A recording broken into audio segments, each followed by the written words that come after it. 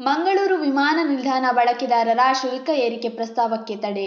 ಮಂಗಳೂರು ವಿಮಾನ ನಿಲ್ದಾಣದಲ್ಲಿ ಪ್ರಯಾಣಿಕರಿಗೆ ವಿಧಿಸುವ ಬಳಕೆದಾರರ ಶುಲ್ಕ ಏರಿಕೆ ಪ್ರಸ್ತಾವಕ್ಕೆ ಭಾರತೀಯ ವಿಮಾನ ನಿಲ್ದಾಣಗಳ ಆರ್ಥಿಕ ನಿಯಂತ್ರಣ ಪ್ರಾಧಿಕಾರ ತಡೆಯೊಡ್ಡಿದೆ. ಮುಂದಿನ ಆದೇಶದವರೆಗೆ ಈಗಿನ ದರವನ್ನೇ ಮುಂದುವರಿಸಲು ಸೂಚಿಸಿದೆ. ಬಳಕೆದಾರರ ಶುಲ್ಕ ಏರಿಸುವ ಪ್ರಸ್ತಾವ ಬಹು ವರ್ಷಗಳಿಂದಲೇ ಇದ್ದು, ಅದಕ್ಕೆ ಪ್ರಾಧಿಕಾರ ಅನುಮೋದನೆ ನೀಡಿಲ್ಲ. ಅಲ್ಲದೆ ಮುಂದಿನ ಮಾರ್ಚ್ವರೆಗೆ ಅಥವಾ ಮುಂದಿನ ಆದೇಶದವರೆಗೆ ದರವನ್ನು ಯಥಾಪ್ರಕಾರ ಮುಂದುವರಿಸಲು ಸೂಚಿಸಿದೆ. ಹೀಗಾಗಿ ಪ್ರಯಾಣಿಕರ ನಿಟ್ಟುಸಿರು ಬಿಡುವಂತಾಗಿದೆ ಮಂಗಳೂರು, ಅಹಮದಾಬಾದ್, ಲಕ್ನೋ, ಜೈಪುರ, ಗುವಾಹಟಿ, ತಿರುವನಂತಪುರ ಹಾಗೂ ಶ್ರೀನಗರ ವಿಮಾನ ನಿಲ್ದಾಣಗಳ ಶುಲ್ಕ ಪರಿಷ್ಕರಣೆಗೆ ಪ್ರಸ್ತಾವ ಪ್ರಾಧಿಕಾರದ ಮುಂದಿತ್ತು.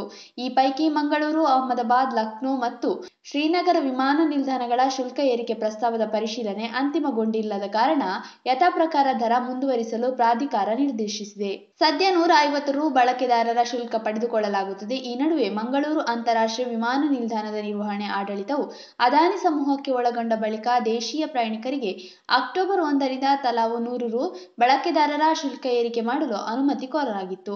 ಹಲವು ವರ್ಷಗಳಿಂದಿದ್ದ ಪ್ರಸ್ತಾವದ ಪ್ರಕಾರ ಈ ದರವನ್ನು ಏಳ್ನೂರ ಇಪ್ಪತ್ತೈದು ರುಗಳಿಗೆ ಏರಿಕೆ ಮಾಡುವುದು. ಆ ಮೂಲಕ ಎರಡು ಸಾವಿರದ ಇಪ್ಪತ್ತಾರರ ಮಾರ್ಚ್ ಮೂವತ್ತೊಂದರ ವೇಳೆಗೆ ಸಾವಿರದ ಇನ್ನೂರು ರು ಶುಲ್ಕ ವಿಧಿಸುವುದು ಉದ್ದೇಶ. ಇನ್ನು ಶುಲ್ಕ ಏರಿಕೆ ಪ್ರಸ್ತಾವಕ್ಕೆ ಸಂಬಂಧಿಸಿದಂತೆ ಅದಾನಿ ಏರ್ಪೋರ್ಟ್ಸ್ ಮಾಹಿತಿ ನೀಡಿದ್ದು, ಭಾರತೀಯ ವಿಮಾನ ನಿಲ್ದಾಣಗಳ ಪ್ರಾಧಿಕಾರವು ಮಂಗಳೂರು ವಿಮಾನ ನಿಲ್ದಾಣದಲ್ಲಿ ಮುನ್ನೂರು ರು ಕೋಟಿ ಮೌಲ್ಯದ ವಿಸ್ತರಣಾ ಕಾಮಗಾರಿಯನ್ನು ಮಾಡಲುದ್ದೇಶಿಸಿದ್ದು, ಸದ್ಯ ಅದನ್ನು ಅದಾನಿ ಸಂಸ್ಥೆ ವಹಿಸಿಕೊಂಡಿದೆ. ಅಲ್ಲದೆ ಐನೂರು ಕೋಟಿ ರು ಮೊತ್ತದ ಅಭಿವೃದ್ಧಿ ಕಾಮಗಾರಿಗಳನ್ನು ಹೆಚ್ಚುವರಿಯಾಗಿ ಮುಂದಿನ ಐದು ವರ್ಷಗಳಲ್ಲಿ ಸಂಸ್ಥೆ ನಡೆಸಲಿದೆ.